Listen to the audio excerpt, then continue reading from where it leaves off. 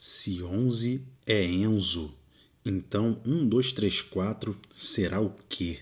Você consegue resolver? Inclusive, se você for um Enzo, já compartilha aí com todo mundo da sua família, porque é um probleminha bugante de raciocínio lógico. Vamos lá, posso resolver? Já pausou o vídeo? É o seguinte, pessoal. Se 11 é Enzo, então 1, 2, 3, 4 vai ser o quê? Bom, dá para a gente tentar entender que é uma lógica aqui, né? O 11 e o Enzo são coisas semelhantes quando você analisa as letras. Enzo é um anagrama de 11, então é simplesmente uma permutação aqui das letras, né? E aí a gente vai ter que usar essa mesma lógica para esses numerais aqui, ó, né? Então a gente vai ter que embaralhar esses números para que forme alguma lógica. Então se 11 é Enzo, vou colocar aqui 11 e Enzo lado a lado. E agora eu vou ampliar para facilitar a nossa visualização.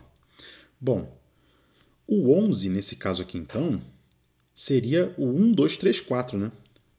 Estaria relacionado com 1, 2, 3, 4. E agora, basta que eu relacione esses algarismos com a palavra Enzo. Então, o E, nesse caso aqui, ó, é equivalente ao 4, o N é o equivalente a 2, o Z equivale ao 3 e o O equivale a 1. Então é simplesmente 4, 2, 3, 1.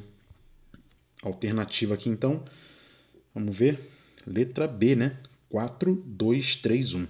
Essa foi a lógica que eu encontrei para resolver o problema. Se você fez de alguma outra maneira, não concorda com a minha lógica, coloca aí nos comentários. Mas do jeito que eu fiz aqui, a resposta certa seria a letra B. Letra B de beleza. Compreendi o raciocínio lógico do Procópio e vamos sempre juntos rumo ao seu sucesso em matemática. Já coloca aí nos comentários se você tem algum probleminha bugante para que a gente resolva por aqui também. E vamos sempre juntos. Você não está sozinho.